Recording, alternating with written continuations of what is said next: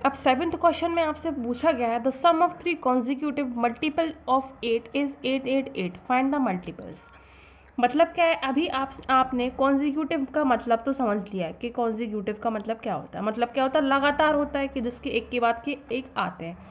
अब मल्टीपल का मतलब क्या होता है? मल्टीपल्स का मतलब होता है टेबल ठीक है? तो टेबल जैसे क्या होगा? एट बंडा eight eight two sixteen eight three twenty four ये होती है एट की टेबल ये मल्टीपल्स हैं और ये क्या है? लगातार है। जो जब हम किसी भी मल्टीपल ऑफ़ एट को क्या करते हैं प्लस कर रहे हैं तो क्या आ रहा है? एट्टी एट आ रहा है। अगर मैं आपसे क्वेश्चन में बोल दूँ consecutive three consecutive multiples of five तो आप क्या करेंगे? फाइव का मल्टीपल देखेंगे। फाइव वन ज़ा फाइव फाइव टू ज़ा टेन तो ये क्या होगा टेबल होगा ये मल्टीपल ऑफ़ फाइव फाइव है।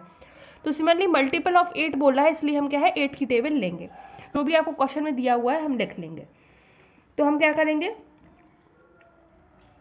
According to the question let x be the multiple of 8 of 8 the next हो गया. The next multiple b, x plus eight और फिर जो थर्ड वाला लेंगे हम, वो क्या है? X plus eight plus eight जो कि क्या हो जाएगा? X प्लस सिक्सटीन तो हमारे तीनों ये आ गए। अब हम क्या करेंगे? जब हम इन तीनों को प्लस करते हैं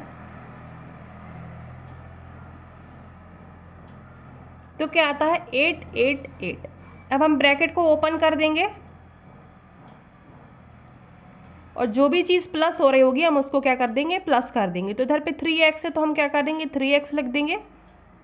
और इधर पे सिक्सटीन में प्लस एट करेंगे तो ये क्या हो जाएगा?